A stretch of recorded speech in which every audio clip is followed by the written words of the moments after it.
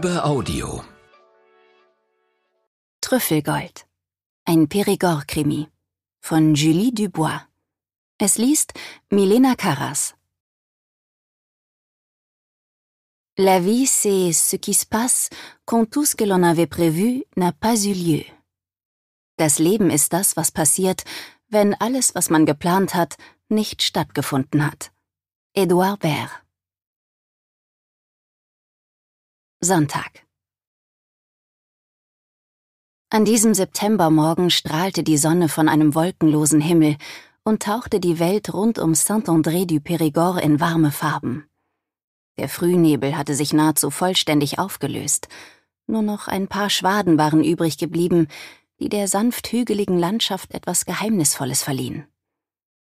Marie Mercier, Kommissarin bei der Pariser Brigade Criminelle, hatte mit ihrem Mischlingshund César die ersten hundert Höhenmeter erklommen, die zum Wald hinaufführten. Nun war sie stehen geblieben und schaute hinunter auf das malerisch in die Landschaft eingebettete 300 Seelendorf in der südlichen Dordogne. Zwischen den ockerfarbenen Dächern waren die uralte romanische Kirche mit dem großen Pfarrhaus und links davon der Taubenschlag aus dem 14. Jahrhundert zu erkennen. Maries Blick glitt weiter zu den beiden gigantischen, jahrhundertealten Zedern, die sich am Eingang des Dorfes erhoben.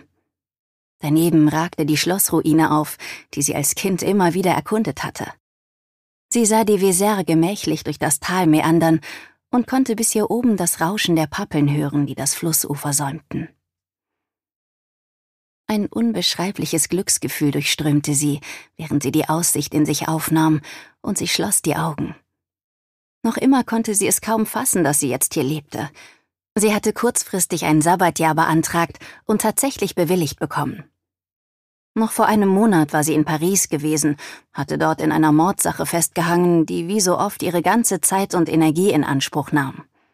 Gleichzeitig hatte sie immer wieder an ihre Großmutter denken müssen, die im Juni ganz plötzlich gestorben war. Eines Morgens war ihre geliebte Mamie einfach nicht mehr aufgewacht. Marie sah ihr schönes, von unzähligen Fältchen durchzogenes Gesicht vor ihrem geistigen Auge und war dankbar, dass der Tod so gnädig zu ihr gewesen war.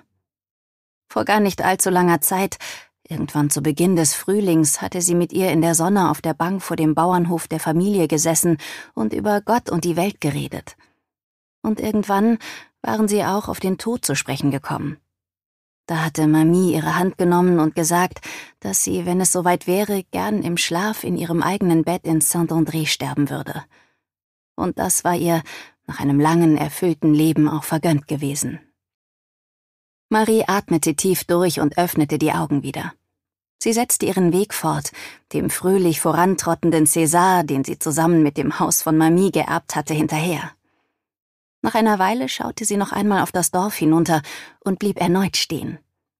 Ihr Blick fiel auf das prachtvollste Anwesen von Saint-André, das majestätisch in der Morgensonne lag. Die hell ockerfarbene Fassade, die mit Rosen bepflanzte Pergola und die Renaissancefenster der ersten Etage hatten sie schon als Kind fasziniert. Wie oft hatte sie vor dieser prächtigen Kulisse gespielt. Damals hatte sie sich vorgestellt, dass gleich eine Prinzessin in einem weißen Kleid am Fenster erscheinen würde. Warum habe ich immer gedacht, dass Prinzessinnen weiß gekleidet sein müssen? fragte sie sich, während sie ihr Sweatshirt auszog und es sich um die Taille band. Die Fenster des gusseisernen Gewächshauses waren geöffnet und klassische Musik drang zu ihr herauf. Marie schlang ihre schweren, dunklen Locken zu einem lockeren Dutt und ging weiter. Als sie den Waldrand erreicht hatte, blieb sie neben einem Brombeerstrauch stehen. Hier im Halbschatten waren die Beeren vor der großen Hitze der letzten Tage geschützt gewesen und deshalb noch prall und saftig. Sie pflückte ein paar und steckte sie sich in den Mund. Während sie noch den Geschmack der Beeren auskostete, zog ein Radfahrer in etwa 50 Metern Entfernung ihre Aufmerksamkeit auf sich. Breitbeinig stand er neben seinem Mountainbike. Wie hässlich diese bunten Radlermonturen doch sind, dachte sie. Im nächsten Augenblick wurde ihr bewusst, dass sie den Mann kannte. Das war doch Hélènes neuester Verehrer. Erst vor ein paar Tagen hatte ihre Jugendfreundin aus Saint-André ihr den höflichen, seriös wirkenden Versicherungsmakler aus Bordeaux vorgestellt und dabei vor Glück gestrahlt. Auch er schien gerade das eindrucksvolle Anwesen zu bewundern und fotografierte es mit seinem Smartphone. Diese Krankheit, alles Schöne immer gleich fotografieren zu müssen. Marie beobachtete den großgewachsenen, schlanken Mann, der sich ihr gegenüber ziemlich distanziert verhalten hatte, und fragte sich, was Elaine wohl an diesem biederwirkenden Typen fand. Aber Elaine und sie hatten, was Männer betraf, seit jeher einen unterschiedlichen Geschmack. Marie stand eher auf Ecken und Kanten, aber okay, das war jetzt nicht das Thema. Wie hieß der Typ nochmal? Franck? Ja, Franck Girard. Langsam ging sie auf ihn zu. Als er sie bemerkte, steckte er sein Handy weg und lächelte breit. Salü, ein schöner Tag, was? Salü, ja, wunderbar. Sie sind Marie, oder? Ja, und Sie sind Franck. Wollten Sie heute nicht zurück nach Bordeaux? Doch, doch. Ich drehe nur noch eine Runde bei diesem herrlichen Wetter und dann geht's los. Marie verabschiedete sich freundlich von dem Mann und bog in einen kleinen, verschlungenen Waldpfad ein. Sie hatte keine Lust auf Smalltalk. Außerdem wollte sie Steinpilze sammeln. Ihre Großtante Leonie, Mamies ebenfalls in Saint-André lebende jüngere Schwester, hatte ihr eine besondere Fundstelle empfohlen. Dorthin wollte sie, bevor andere sie entdeckten und plünderten. Beim Pilzesammeln waren Maries Großmutter und Leonie früher ein unschlagbares Team gewesen. Was die eine nicht sah, fiel der anderen auf, und bei aller Gastfreundlichkeit, durch die sich die Bewohner des Périgord auszeichneten, hätten die beiden für nichts auf der Welt eine gute Stelle für Pilze verraten. Inzwischen war Leonie stolze 80 Jahre alt.